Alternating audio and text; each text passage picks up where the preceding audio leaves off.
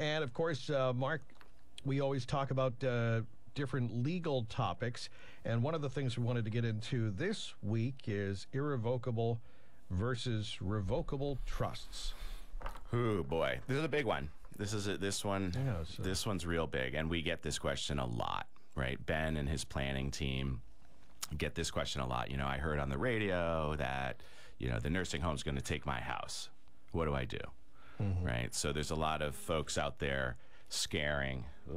I mean, and that, and that you know, it, th- this can be, it's a real anxiety. I mean, to to think that you know somehow uh, everything is going to be stripped away in order to allow someone to, you know, that needs that has no other choice. They need this care. and and it's a brilliant conversation to have with people because as we always say it's not one size fits all Yeah. it's one size fits one and a lot of the times when we're talking about an irrevocable trust and let's talk about what that is you're giving away everything in your lifetime and it's irrevocable which means you can't revoke what you just did you gave it all away Okay. But that's not suitable for everybody.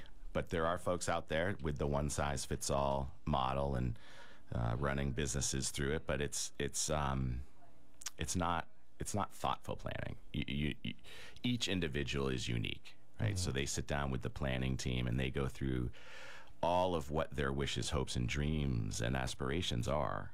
And maybe an irrevocable trust makes sense. Maybe deeding away all of your assets into a trust for your benefit, but while other people are managing it. And we talked about trust a lot last week when we were talking about what trusts actually are. But you're placing a lot of trust in that person who's going to administer everything for you because, in essence, you're giving this all away so that you have no assets. Now, compare that to a revocable trust. And this is where we do a majority of our planning.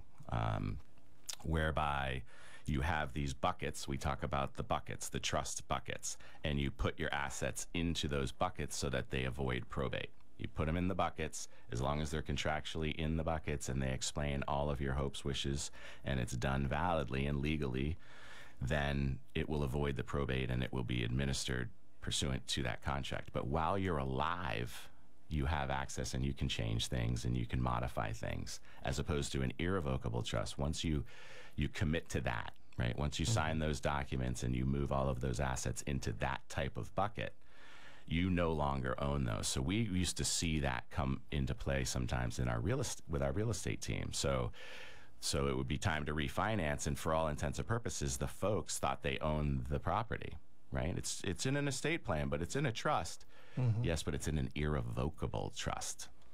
It's in an irrevocable trust so you can't refinance because you technically don't own it. And you know people would say just pull it out of the trust put it back in. Well you can't you can't do that. Once it's once the horse has left the barn the horse has left the barn. Now there's an exception to that with reverse mortgages and we've talked about reverse mortgages a lot. Um, and there's an exception to that that you can enable um, the the fulfillment of a reverse mortgage and you can access the equity in your home with this uh, irrevocable trust but for all intents and purposes the money is out of your account all of your assets are out of your name and you don't have control over them and you're leaving the trust to somebody now again makes perfect sense for a lot of people the trust is the huge factor, right? Who is the person that is going to administer that? Who is the institution? Sometimes it's a, you know, a banking institution or a trust uh, company that does that, but very different.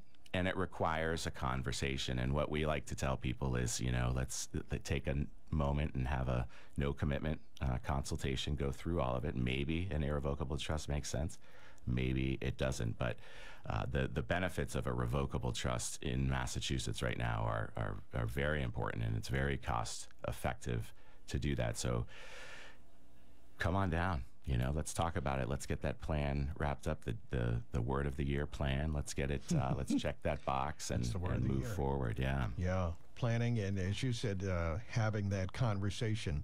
Uh, stiles-law.com is the website. You can get links to all sorts of information. Uh, there is uh, there are YouTube videos as well. He's got a great YouTube channel. Mark Stiles and his great team at Stiles Law.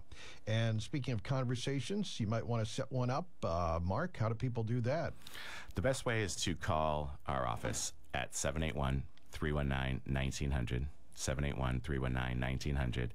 And the concierge will introduce you to the estate planning team to go through the online intake that you will. Um, we ask you to do so that we can get basic information and then it sets up a consultation and, and it, it's really easy. And sometimes people get stuck uh, because it is a big deal. And um, and we we're very good about having various strategy sessions with them if there's something that's really blocking them if it's really sticking.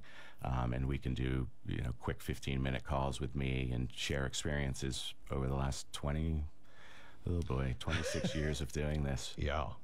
But Wow. uh, yeah, so the best way is to call the office 781 319 1900 to start the process. 7 uh, 781 319 1900 or check out our YouTube videos too. These go to our YouTube channel. These um, Feel Good Friday clips go on our YouTube channel as well as other frequently asked questions and videos for those.